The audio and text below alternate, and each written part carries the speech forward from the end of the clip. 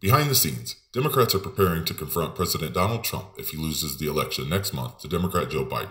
If Trump claims the result is rigged, refuses to engage in a peaceful transition, or tries to challenge the result through the courts, Congress, or state houses, the Biden campaign and congressional Democrats are strategizing together to wage a post election response to Trump on two fronts, anticipating both a legal challenge and a messaging war. Outside groups are also mobilizing to try to blunt any efforts to dispute the vote count after November 3rd. Senate Minority Leader Chuck Schumer and Senate Democrats released a report on Sunday titled Counting Votes and What to Expect on Election Day, aimed at preemptively pushing back on Trump's claims of fraud, which details how not all states are likely to finish counting their votes on November 3rd.